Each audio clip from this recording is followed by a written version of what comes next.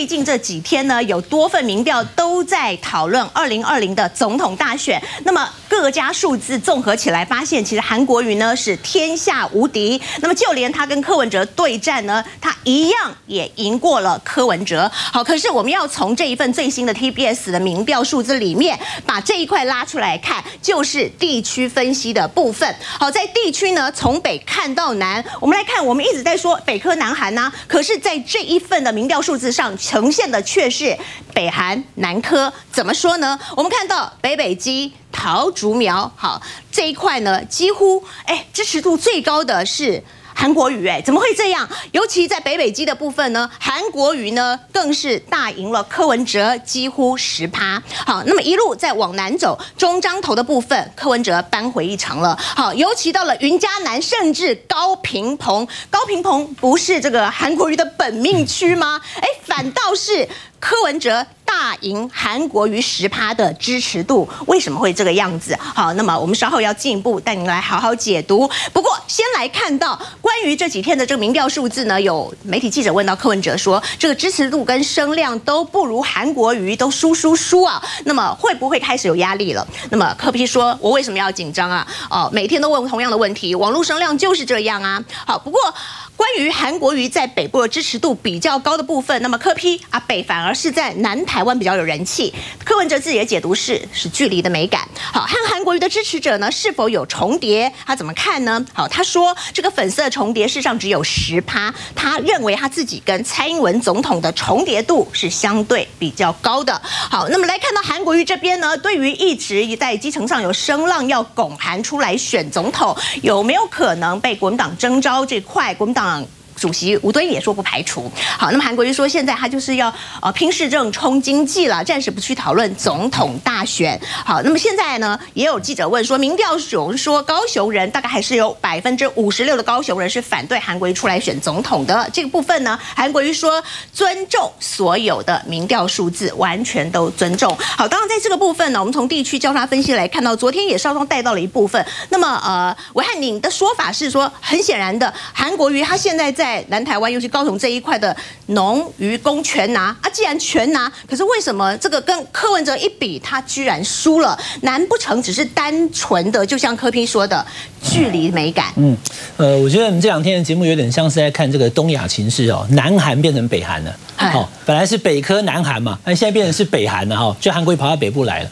昨天我已经跟大家报告我初步的看法哦，那就是呃，至少大家可以看出来一点，就是现任市长才当不到两个月。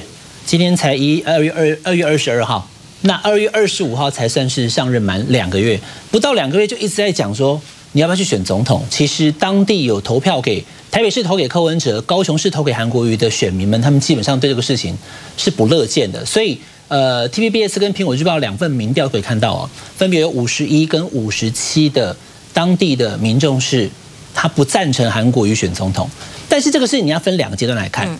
你在问他说你支不支持韩国瑜现在选总统？他给你五十一的反对跟五十七的反对。可是接下来你支不支持韩国瑜在当地啊？就说你支不支持韩国瑜选总统？当地还是开出了超过百分之三十到四十以上的票。他们还是觉得说，如果真要选，所以它是两个阶段的问题。观众朋友，当你问我这个人去选总统好吗的时候，你会讲说他是市长不太好。可是到最后他已经成为总统候选人的时候，那就要从总统候选人之间。比如说柯文哲、韩国瑜跟蔡英文之间，再去看，你看那个时候，那韩国瑜就有四十三十几块，将近四十的支持度了。所以他是两个阶段的问题。我是不支持他去选啊，但如果他已经是候选人，那我会不会投给他？或许会。这第一个。那所以在台北市跟高雄市的选民各自，台北市对柯文哲跳出来的。这个支持度低，反对多。高雄市南台湾对于韩国瑜跳出来选总统，不继续当市长的支持度也是不够高，反对的比较多的情况之下呢，还有一点我们要进一步分析的是说，你要知道过去大家所谓的呃北蓝南绿哈，就是台北呃北台湾是蓝军哦，那南台湾是绿营的部分。你看在北北基跟桃竹苗，至少过去这一块大家觉得说哦，至少这是蓝营铁票区。那蓝营铁票区过去这四年当中呢？那么柯文哲他基本上得到了非常大的一个支持度的情况之下，蓝营可以靠着韩国瑜把原本的传统制度拉回来。嗯，所以韩国瑜在北北基桃竹苗这一个蓝营的选民当中，基本上是认同他的。那他们也没有说绕跑的问题，因为我需要一个能够稳稳选上二零二零的人。好，那柯文哲当然了，他说距离产生美感啊，因为高雄人不了解我，就觉得我还不错，哦，就给我高一点支持度。那台北人不了解韩国瑜，但这句话乍听之下是有道理，但是实际上根本就是这个完全经不起逻辑的检验啊。因为韩国瑜在一年以前，他一直基本上他过去是台北的，都在台北，他是台北的，他是台北的呃永，他是中永和的立委。而且他也是北农总经理，干了那么多年，他怎么会跟台北？他以前就在台北出现啊，在台北活动啊。他是过去这一年多才去高雄当市党部的主委，跟选高雄市市长，对不对？所以你说台北人对柯文对呃韩国瑜非常的陌生，很有距离，所以都是看了以后觉得说，呃，因为我对他有距离，所以我才能美感。那这个我刚刚讲的那个逻辑就不成立了。那第三点就大家会讲说，好，那既然是如此。那呃，柯文哲今天也在讲说，到底是不是要选总统？我他刚刚上广播，那他是说我还在想，哦，他也一样啊，就是说他反正在六月之前，他一定不会给你一个完完整明确的答案，一定要选或是一定不选，不会，因为只有答案不完整不明确，媒体才会继续讨论嘛。嗯，所以柯文哲也是希望媒体能够继续讨论，所以他会一直维持这样子，继续曝光上媒体。可是大家可以看得出来哦，柯文哲最近频繁的上电视跟广播的这件事情来看。还有过年的时候连续几天跟呃网红搭档拍节目来看，就第一个他有准备，嗯，第二个他也显然因为韩国瑜的民调跟气势超过他，他会有点着急。就是说我原本是觉得说要不要选超自在我，反正我就是第一嘛，好像就像 Michael Jordan，我要不要退休去打棒球，这是我自己选的，反正我一回来还是三连冠，那那是我的局，好篮球场上我就是制霸。那柯文哲觉得要不要选，我就我决定就好了。反正我不选，小英可能就谢天谢地哦。那他可以那个白绿合作。但如果我要选，那他就是选不上了，是我来决定。可是现在不是，现在是即使柯文哲你要选，如果韩国瑜选的话，你就不一定赢了，而且看起来你是一定输的状况之下，柯文哲的选择权也小了。所以呃，大佬才会讲嘛，沈大佬讲说他认为他不会选。但我觉得情势都会变化啦，包含了国民党方面。这两天大家也在谈呢，我补充一个给大家就是报告，因为后面呃这个立文跟大千哥一定都有更深入的看法哦。那有没有可能？因为大家看到昨天王金明院长讲说，吴敦义主席所谓的不排除任何状况，那不任何状况，其中一个就是征召韩国瑜，他说这是假议题。第一个，我相信王院长认为韩国瑜不会出来选，嗯。第二个，我们也都普遍认知韩国瑜不会去领表，去成为那个初选的人。那所以既然如此，一旦启动初选之后，根据党的现在的提名办法。韩国瑜根本没有出现的可能，连一个百分点都没有。嗯，但是是现任的办法。嗯，一旦以这样的民调来看啊，观众朋友，以这样的民调来看，蓝营的选民他最爱的其实不不不是韩国瑜哦，蓝营选民最爱的是二零二零国民党保证执政。所以当韩国瑜被赋予只有他才能够保证执政的时候，当然就是更爱韩国瑜。可是如果我们就讲假设哦，如果到六月的时候，国民党的党内初选的这个候选人已经可以赢过柯文哲的话。那这个时候就没有韩国瑜非得出来的空间了，所以初选的我相信会有人提啊，那那个人会不会是吴主席？我不知道。当国民党的总统的初选启动的时候，除了按照现在的提名办法，三成党员七成民调去询问各组有无意见，要不要办证件发表会跟辩论会的同时的时候，会再附加一条，等到我们要提名的最后的时候，如果民调无法赢过，不是韩国瑜，因为要赢韩国瑜其实有难度，对，也就是可能潜在的。这个所谓的对手的时候，那我们就可以进入第二阶段的审慎考虑，再做协调，那那个就空空间就很大了。所以也就是说，到了六月，如果朱立伦、王金平，呃，或是吴敦义主席，他们如果真的有参选啊，吴主席应该在三月底之前，他会做决定，到底要不要参选，还是就是当党主席，当这个呃所谓的游戏的这个裁判去主导这个初选，到这这也有可能，就他没有跳进来，那很可能最后变成是王金平跟朱立伦两个人去参选，那这个时候呢，就会。吴主席的高度就可以讲说，那就是这样子。你们两个尽量的努力，如果到最后我们要提名的时候，你可以在民调上赢过赖清德、蔡英文跟柯文哲，那我们就提名你，全党一心去让你选上二零二零的总统。那吴敦义就会成为让国民党再次执政的国民党党主席。观众朋友，两千零八年的时候，吴敦义那个时候是实质党主席，嗯，他操盘，然后立委选了八十八十几席，那。两个月以后，三月的时候，马英九选上总统，完全执政。第一次国民党过去二十年来国民党的第一次的大胜是吴敦义当党主席。第二次默默的，大家没有发现那个潜水艇，就是去年二零一八年的十一月四号，国民党赢了十五个县市，党主席也是吴敦义，可是没有人在谈他了，所以他其实他也觉得很闷，说我是怎样，我很努力当党主席，大家都觉得我我根本就没有人气。好，但是如果第三次的二零二零，假设啦，国民党可以执政，那个党主席还是吴敦义，他就造就了三次国民党。在我们的台湾的选举史上的大胜都是跟他有关，他的历史定位也会拉出来。那那个时候，韩国瑜征召的空间就出来了。王院长所谓的假议题。就不会是假议题了。嗯，好，立文认同吗？维汉的分析，也就是目前韩国瑜真的是民调上他最高啊。到时候在国民党会不会真的有所谓的韩国瑜附加条款出现？这第一个，第二个就是你对于我们刚刚提到的这一份民调的地区交叉分析，你感到意外吗？伟汉不愧是常年跑政治新闻哈，他讲的基本上我都非常的认同，他也分析的非常的呃面面俱到。那我有几点补充哈，第一点先讲民调，嗯，呃，连宋跟陈水扁，就陈水扁要连任的那一次，好，连陈水扁已经当了一任总统要连任的那一次，二零零四年连宋和嘛，当时民调最高的是马英九，是当时的台北市长，不是连宋，可是。连宋还是选了，对，因为我印象非常深刻，当时我还不是国民党员，我还亲自跟连主席建议说啊，为什么不连马配呢？连马配不就稳赢的吗？他们说不行啊，你孙孙大千在这还没有更清楚啊，不行啊，就说已经跟宋楚瑜讲好要连宋配这样。那我当时就你想想看，我那时候年纪还多小啊，对不对？当时就觉得说，那马英九民调这么高啊，对不对？为什么陈水扁不能再当他连任呢？为什么不不找马英九连马配呢？好，话说回来，我只是要讲说，当时连宋的民调还赢陈水扁二十趴呢。哦，虽然马英九更高，但连宋和也赢陈水扁二十趴。最后谁连任了？陈水扁连任了。好，那么这一次的选举，大家讲说啊，那是很久以前的事情了啦。那不然我们就讲去年的选举。去年的选举，韩国瑜输陈其迈多少啊？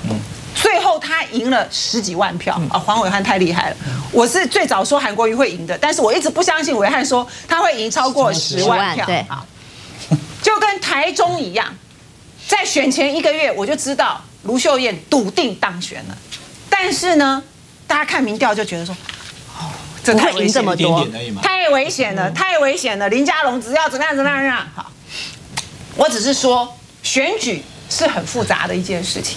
如果民调就决定了一切的话，啊，就没倒票啊，啊，我们就宣布柯文哲当总统就好了啊，对不对？何必总统大选呢？就直接民调就好了，多省钱呐，对不对？我的意思是说，民调有很高的参考价值，让你知道说现在的状况是怎么样。选民，譬如说区域性的，他们议题性的也好，或学历或各种的比较，让你去发现说，哎，我的强项在哪里，我的弱项在哪里？年轻人为什么不支持我？等等的，这有很高的参考价值。但是如果你就民调决定论，全部被民调牵着鼻子走，啊，政党就解散就好了，我们就让媒体、让民调公司来决定谁当总统，不就好了吗？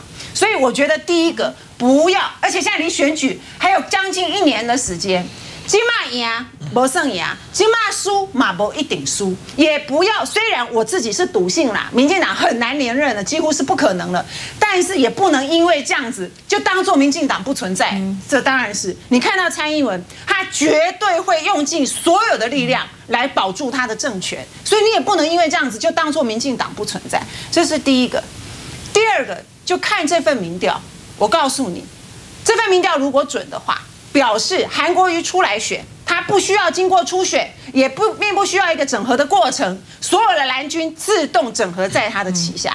为什么北部赢南部输？因为北部蓝军强，中南部蓝军弱，就这么简单。所以在这个选举里面，你从他的这个民调，因为我昨天有很仔细看，年轻人中间选民是不倾向支持韩国瑜选总统的。所以年轻人跟中间选民是觉得柯文哲比他更有选总统的正当性，所以在这里为什么？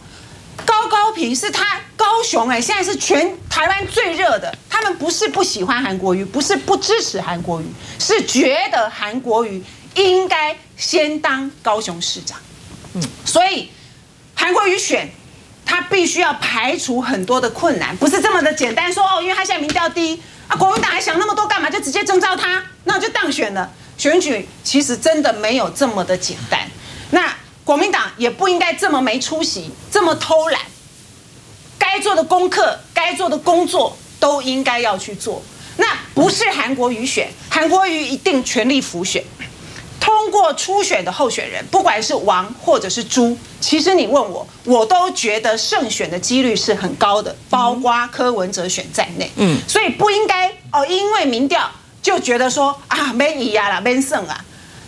蔡英文每天都这么认真呐、那如果是这样的话，蔡英文就应该放弃啦、他还在选什么？他还在选什么？他当然相信他可以改变嘛，不然他干嘛这么认真？所以今天话再说回来，柯文哲会不会选？柯文哲一定选，柯文哲也已经在选了。柯文哲这次不选，以后没有机会了。他这次有没有机会？民调就显示他真的很有机会。他为什么不选？他一定会选。再过来讲，那么刚刚在讲说，那国民党因为在技术层面上面，在正当性的建立上面，真的这是一个非常困难的，就是说让韩国瑜出来选，侯一出来，哎，都水亏耶，你别在那边叫啊，你每天不该做判一款，那你就是害了韩国瑜嘛，对不对？而且韩国瑜为什么要为国民党牺牲呢？他不是国民党的，他现在是高雄市的，或者说你应该说他是全台湾的，他不能够被国民党牺牲掉了。你国民党万一演了一出烂戏，然后呢，啊，反正烂没有关系啊，我们演的这个戏再怎么烂，只要只要最后啊韩国瑜出来选，我们就得救赎了吗？就每个人都升天了吗？当然不是这样，而且。今天如果出现的是王金平初选，嗯，韩国瑜一定全力相挺的。韩国瑜怎么可能说啊？虽然今天是王院长出现了，但是好我卡囧，我把你挖掉。啊，你选的时候人家才帮过你，现在人家要选的时候说，啊，你不要选，我出来选。你觉得韩国瑜会做这种事吗？绝无可能啊！所以就为什么我会说，如果要韩国瑜出来，那你国民党就不要出选了，对不对？那问题是说，在这个过程里面，你怎么建立韩国瑜出来选的正当性？这是一个很高的高难度，而韩国瑜也没有理由让他觉得说，哎，我要选呐、他不可能，他现在不可能讲这个话嘛。就算中央给他穿小鞋，或者是说再继续骂他，或者是真的很严重，逼得韩国瑜不得不离开高雄市长的位置，因为我若不选总统，我不发抖。但是这种东西。起码啦，现在这个土包子还不足以成为韩国瑜出来参选总统的理由。那只要韩国瑜他自己，我是说他自己啦，好，自己不松口，他自己说我没有要选，你们不要找我。啊，你党可以说管你要不要，你就是给我来选啊，可以这样吗？当然不行嘛。